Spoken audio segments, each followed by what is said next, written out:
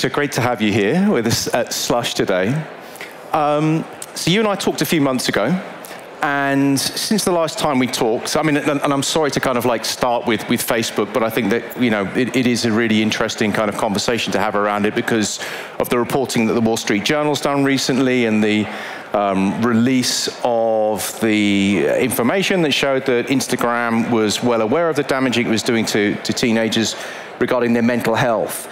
So we're having congressional hearings, we have strong words from politicians in the EU, we have promises from Facebook and others that they will change, but very little has actually changed in the last, you know, ever since we've been having this conversation.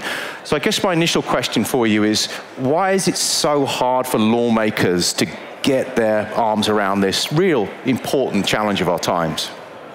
Right, so there's a lot there. And uh, first of all, thanks uh, for having me. It's great to be at Slush uh, for the first time. Um, in some ways, we talk about Facebook too much, yeah. I think, um, because there's a systemic problem with a lack of access to information about what happens inside of companies that could be harmful and how we must understand it as societies, not just as CEOs and engineers.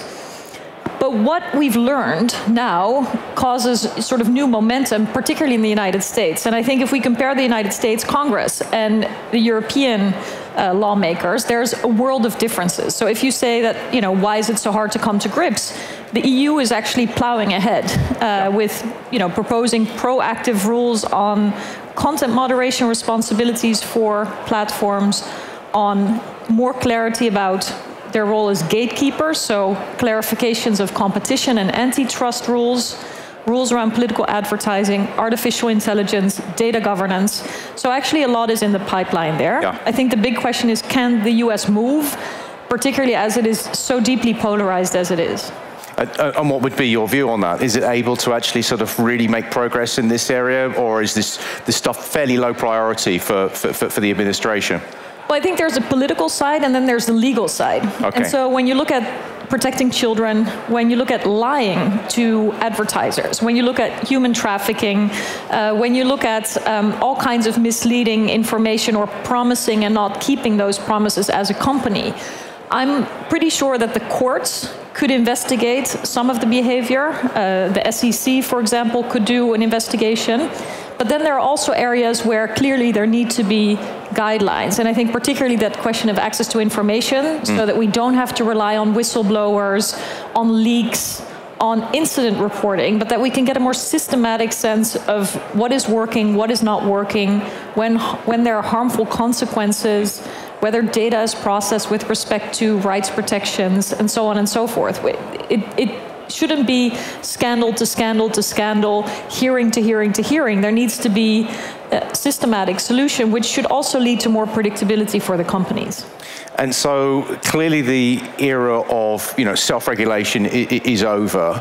Um, do you have a view on the Facebook oversight board? Has it been effective in any way, or is this just window dressing and gives a kind of a heat shield for, for, for the executives? The top of the company. Well, so if we conclude that self-regulation hasn't worked, and yeah. I think that's a safe conclusion to draw by now, then you have to wonder what a Facebook oversight board is going to add. You yeah. know, Facebook funded, Facebook selected, yeah. but more importantly, a Facebook pipeline of cases that they can deal with and other issues that they cannot deal with. Yeah. So I have a lot of respect for the people who are on the board. A lot of them are excellent um, intellectuals and civil society leaders.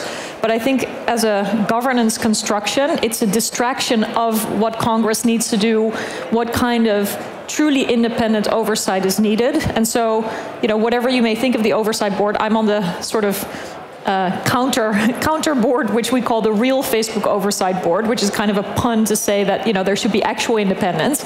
Um, but whatever you may think of the oversight board, at least make sure it's not a distraction of democratic legislation and oversight that is desperately needed, not just for Facebook. I mean, YouTube gets away yeah. with so much harm and damage without ever being in the headlines. Yeah. I don't think the CEO of, of YouTube has ever testified right. before Congress. So I would much prefer a broader view than, you know, it's kind of the flavor of the day right now to go after Facebook too. So you confident that we're now, you know, moving into a time when it's not going to be the boardrooms that are deciding, you know, what the, the, the limits of free speech are, but actually legislators, lawmakers? So speech is one aspect, and it's in, immensely important for freedoms, for the rule of law, for uh, all kinds of other rights protections. But it's certainly not the only problem or right that is at stake when we look at the online environment. So what about freedom from discrimination? Yeah. You know, what about competition? What about public health? Mm. You know, when, when does the amount and the effect of disinformation bleed into a public effect to the extent that people are dying because they believe that the vaccine is the poison instead of the solution? Yeah you know, and, and that kind of trajectory, when it scales, when it goes from a small group of people to a significant percentage of the population, you cannot only focus on the need to protect speech. You cannot only speak of speech when there's data harvested, when there's micro-targeting of ads, when there's data brokered, you know, collected and sold and assembled and repurposed. Yeah. So I think we've had a little bit of a speech dogmatism, particularly in the United States, because of its First Amendment of the Constitution, a very strong tradition. But a lot of the issues and harms with social media are not just speech issues. They're rights issues, they're data governance issues, they're oversight issues, and all of those deserve the same attention. So if we determine that this commercially amplified content is causing damage um, to society, to individuals, how do we set about drawing the line? Like, at what point do we say, actually, this is damaging society in ways that are not tolerable and are undermining, you know, democratic rule of law and social order? Also, I think there need to be a couple of baseline provisions um, that also have to do with uh, manipulation that can be uh, glanced from the platform. So, for example, if you have an account uh, uploading an allegation of a crime every three seconds for 72 hours, you can be pretty sure it's not a person. Right. And so, besides looking at what is posted, yeah. you can look at who is posting it. Uh, and the kind of kind of behavior. So, for example, pattern recognition, or you know, the the creation of I don't know 5,000 accounts within um, 48 hours from a specific district must be suspicious. So I think there can be uh, enforcement of platform own platform made rules about what authenticity of accounts might mean, what kind of behavior is tolerated. But then we also truly need to understand better what the business models do as an effect, what machine learning may cause as intended and unintended consequences. Because you know what strikes me is that we often hear these promises by the platform companies. For example, they after 14 years, Facebook said we're not we're not going to allow Holocaust denial anymore. Yeah. Long overdue, but at last it happened. Even after that commitment was made, Holocaust denial content would pop up over and over and over again. On Amazon two weeks ago, the top one recommendation was an anti vaxxer book. How is this possible in the middle of a global pandemic? I can't answer that. You know, I don't have the full view. My colleagues at Stanford don't have the full view, but the fact that we need independent research to understand what is happening, whether promises are kept, and what could be the unintended consequences yeah. is, is essential. And only then I think we can make better decisions about what needs to happen next. So that's a great question there's still kind of, you know, the black box. We don't know what's inside it. Like, how do we get to a point where civil society, where journalists, watchdogs, researchers, academics get access to this and really because we, we hear from you know people in technology companies constantly oh politicians and, and uh, these kinds of people they don't understand technology they don't understand what we do whilst at the same time not giving access clearly there's you know intention there but I guess the question, question is, is like, how do we ensure that, you know, actors on behalf of civil society understand what is actually going on with, with some of these algorithms? Yeah, so I think we need um, provisions, mandates for access to information that may differ. So, you know, the non-discrimination watchdog, the antitrust regulator, they need a different kind of level of access to information. Mm. Already the competition watchdog can probe information, emails going years back. You know, they have a mandate to ask that. If you knock on the door as a journalist, forget about it. Yeah. I mean, they would never hand it over voluntarily. For members of parliament, I think it would be the same unless they may have to be forced to testify under oath. But, you know, this kind of access to information for regulators is unique even if journalists and civil society and uh, citizens also deserve to be able to scrutinize the kinds of services that you know are impacting society, are impacting their lives, the lives of their children, and so on. So I think it will be a matter of access to information guarantees, you know, with specific sort of levels and purposes, but certainly that's necessary. But I also don't want to give the impression that there's nothing that can be done now. You know, looking, looking at the amount of cases of antitrust investigations, it shows that there are real concerns about lying, about mergers and acquisitions and bundling data, uh, about other kinds of promises made and practices um, engaged in when it came to company behavior. So not only will we see a wave of regulatory initiatives, we will also see a wave of court cases playing out. I wanted to ask you about antitrust. Do you think that the laws that we have in place right now, are they fit for purpose? Do they really work when it comes to digital economies? I think they need a new interpretation and ideally a speedier process. Mm. Because, you know, for good reasons, companies can also appeal rulings. You know, companies have rights protections too. But these processes can be dragged out for so long that the effect of a sanction or a ruling can almost be, um, you know, foregone. Mm. You know, if, if, if there's an allegation that impacts the market today, but we will only find out in seven years whether there's going to be a punishment, then the companies hurt will have been bankrupt, you know, for decades. The founders will have already moved on and, and done new, um, new projects. So uh, it needs to be faster, and there's obviously a challenge with which kinds of sanctions bite. I mean, a couple of billion dollars is an astonishing amount, but it's not when you actually make exponentially that. So it needs to be proportionate so that it actually has an effect, a deterring effect.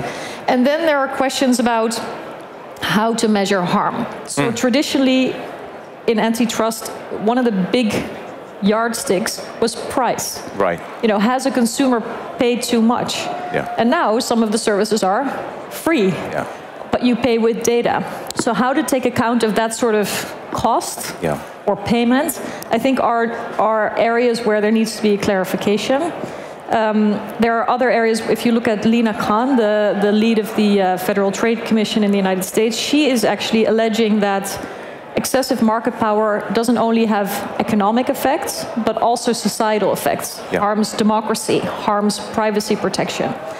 And so I think there will be a big discussion and, and question of whether um, antitrust rules can be stretched to cover all those yeah. goals, or whether it's also legitimate to say, look, if democracy is under pressure, we're going to go for measures that target those harms specifically. We're not going to hope that market instruments like antitrust, which serve a very important purpose of sure. keeping competition fair, but we cannot simply hope that the side effect of fair competition will be a better democracy. Sure.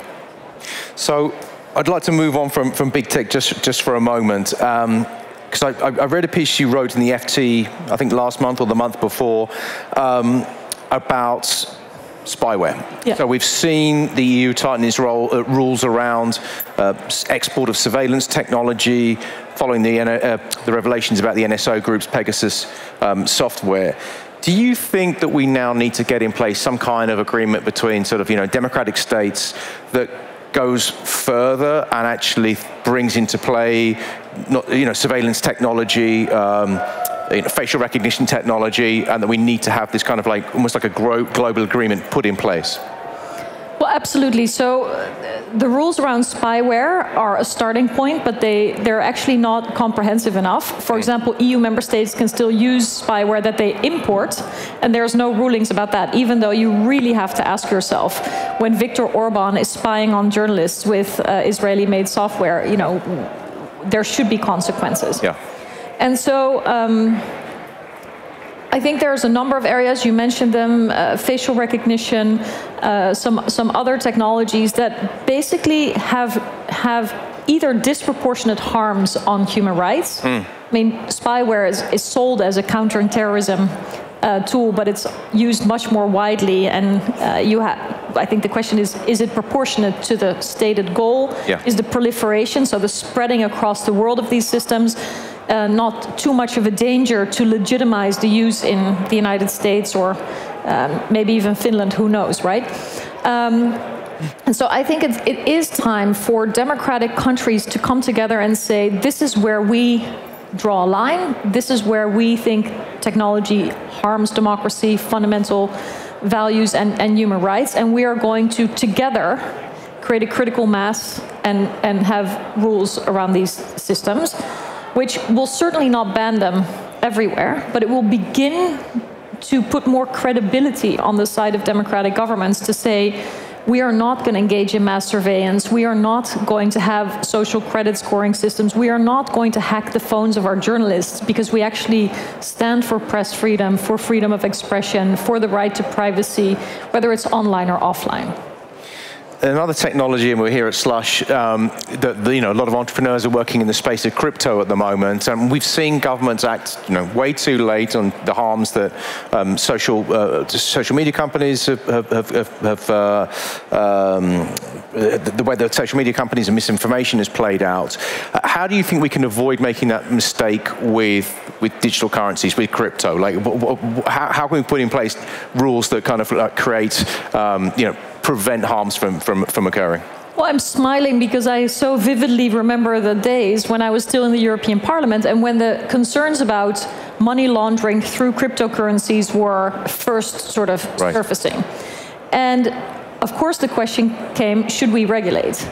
And then so many um, investors, founders, tech experts said, no, no, no, no, no. If you're going to regulate now, you will stifle innovation, which is always the magic sentence to oppose right. uh, any regulatory intervention. And so actually, the EU has deliberately decided to hold off on regulations and also to make sure that, for example, an effort to, to prevent money laundering, which I think you know is legitimate and needed, but does not actually impede other uses of blockchain technologies, which yeah. have nothing to do with financial services or money laundering or whatever, can still be um, growing and, and uh, experimented with. You know, fast forward to where we are today there will be a sort of showdown between regulators, central banks, and, and crypto companies. I have no doubt about it because, for example, I, uh, I learned this week that 25% of young people in the Netherlands invest in crypto.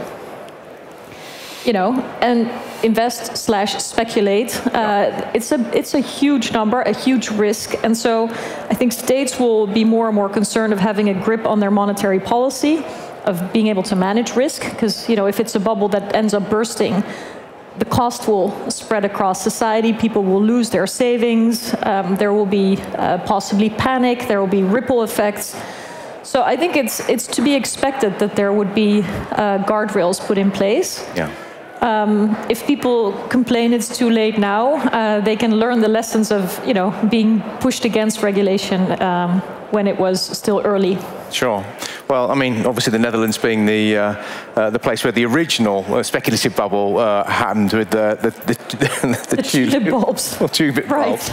So uh, uh, just just thinking about this and thinking the way that the way that you know crypto could potentially move markets. It could have you know really really significant effects on whether whether it's currencies or whatever.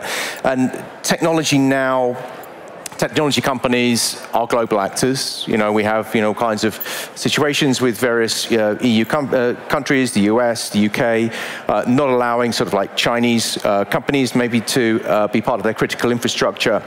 How do you think about? How do you think that technology is going to play a role in geopolitics moving forward? Like, how important do you think this is that we uh, establish kind of like very clear norms uh, and guidelines that, you know, that are, are international standards that everyone can kind of follow the rules so we know, you know, in, in, we, know we know how to protect especially sort of like democratic uh, institutions and de democratic norms? Mm -hmm.